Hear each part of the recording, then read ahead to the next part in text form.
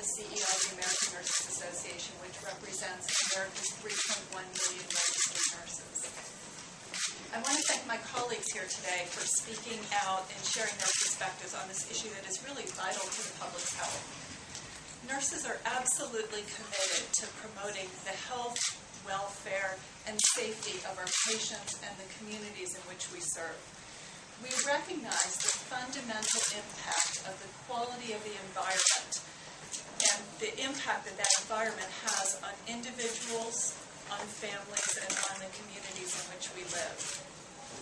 Studies continue to show the link between chemical exposure and serious illness, including things like cancer, reproductive and developmental disorders, neurologic diseases, and asthma.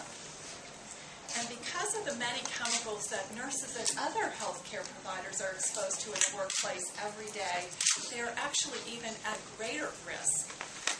So, one of the things that is important for us to understand is that according to the Center for Disease Control and Prevention, 133 million people in the United States, that's about half of Americans, are suffering from these and other chronic diseases that contribute to about 70% of the deaths and about 75% of the healthcare costs. Now, for nurses, these are not statistics. These are our patients. And we know that it is always better to prevent an illness than to treat it.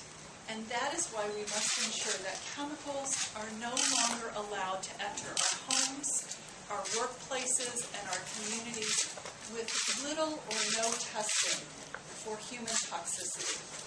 Even more importantly, as you've heard, we must ensure that it doesn't take decades to remove a dangerous chemical from the marketplace once it has been identified. And that in every instance, we must substitute a safer chemical for one known toxicity. We owe it to ourselves, we owe it to our children, we owe it to future generations. Chemical policy reform is critical to our health. It is long overdue. So the American Nurses Association and nurses across the country applaud the senator for his leadership.